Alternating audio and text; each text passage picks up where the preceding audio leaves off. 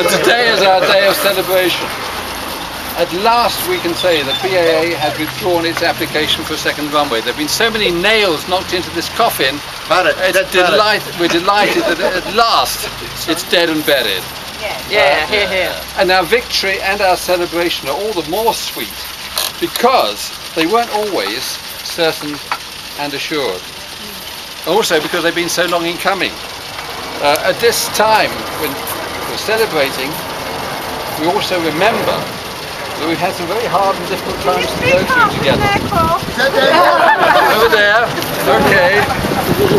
I'm sure you'll always remember, and I'll always remember, that awful time in June 2002 when the government put forward its consultation paper and was threatening us not just with one extra runway, but with two extra runways and three extra runways.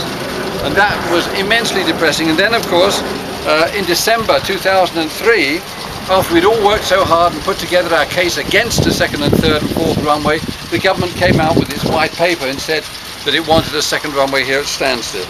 And so it's gone on. Uh, we've argued consistently against government policy.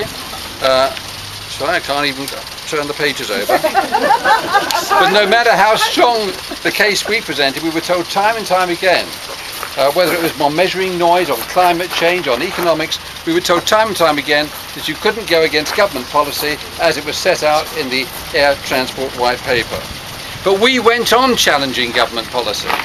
For six long years we challenged it, and then in the recent Heathrow judgment, we were told that BAA and the government could no longer rely on the Air Transport White Paper.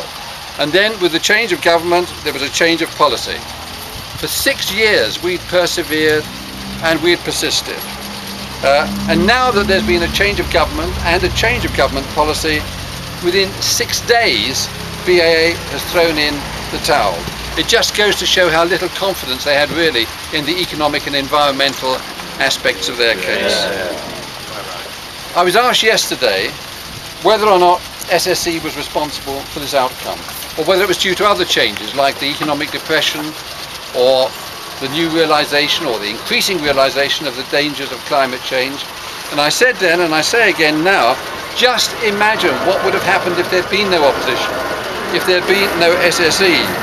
In the Air Transport White Paper, it set out on the board behind us, the government wanted to have the second runway up and running or down and running in 2011-2012, just a year's time.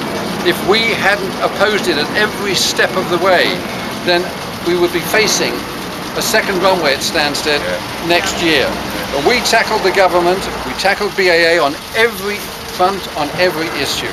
We never let them get away with anything at all. And in the end, they were so scared of legal challenges, it was taking them months, even years, to make those straightforward decisions. And without our opposition and without that of our allies, uh, we would be facing a second runway now. Um, and in the meantime, we were lobbying both the Conservatives and the Lib Dems about the iniquities of a second runway and all the, all the environmental damage and the fact that it didn't make economic sense. And they've now come out on our side. At this point, I want to thank our MP, Alan Haselhurst, who's been a, a source of strength to us throughout the campaign.